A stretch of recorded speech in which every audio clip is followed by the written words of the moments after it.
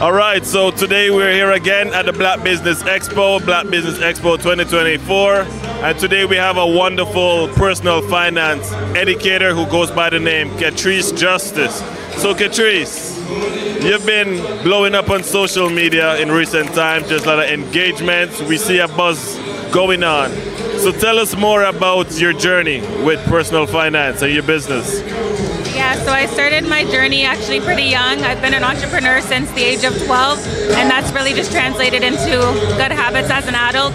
I ended up buying my first house at 22, and now I'm here helping other people do the same and just learn about money so that they can make better decisions.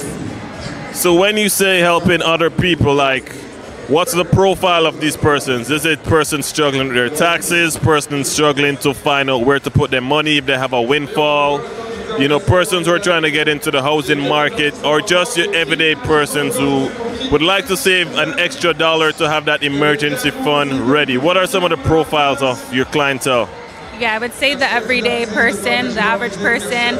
Uh, for example, I posted quite a bit about student loans last year. I shared a tip where you can actually save a lot on interest, and that video actually got over 600,000 views. So, yeah, I'd say your average person. So not only just a personal finance educator, but a viral personal finance educator who is really blowing up. She dropped a lot of gems, a lot of knowledge. And um, what are some of the topics you find persons most interested about? Like, what are some of the recurring questions that persons keep asking? Uh, so the student loans was of course a big one because like I said I got over half a million views so that was pretty popular for a while. Um, aside from that a lot of people are also interested in real estate. A lot of people are still trying to figure out how to get into the real estate market and yeah. As a result of blowing up online, like, um, you know, how has this transformed your business? Have you ventured into maybe a, a, line of products? Do you offer new services? Tell us, tell us more. Uh, we know you're very creative, you're very enterprising. Uh, we do know Katrice has to leverage this opportunity. So talk to us a little bit on that.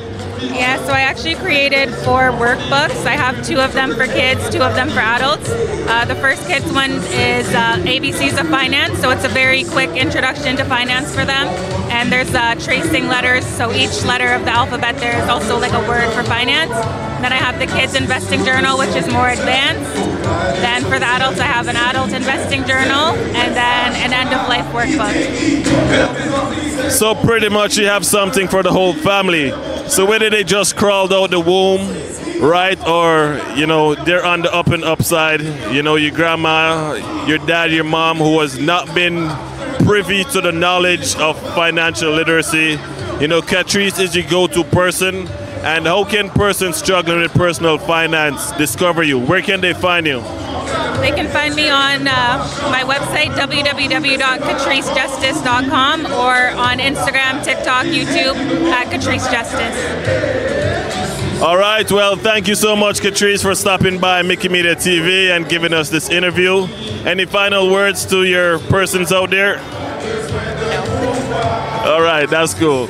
All right. Thanks again, and thanks for watching.